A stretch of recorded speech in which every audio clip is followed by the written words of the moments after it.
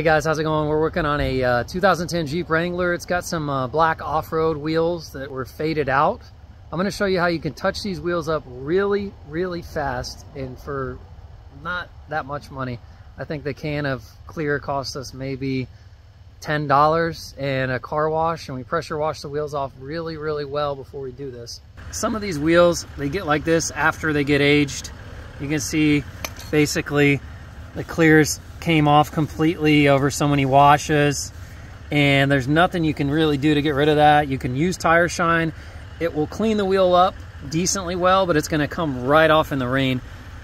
If you shake your can, you get this 2X Rust-Oleum Gloss Clear. You can get these at Walmart. They're fairly cheap. Better if you can buy a better clear coat at a automotive uh, paint supply store, but these will work. Shake them for five minutes.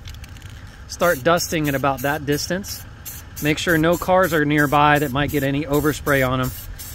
But you can see already how this stuff just literally makes these rims look almost like new. It's reapplying that coating that it had on it before when you when they were new, before you washed it a thousand times and it came off. And a lot of people see these wheels and they're like, oh, time for a new set.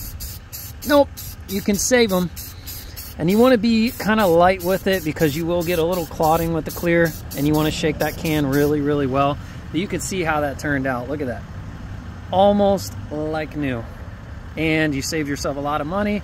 Let it dry. You can always go back over and apply another coat or two if you want. Let them dry really well before they get wet or anything like that. But you can see, look, what a difference. Thanks again for tuning in with us. Don't forget to like and subscribe for more tips and tricks. Have a great one. Thanks.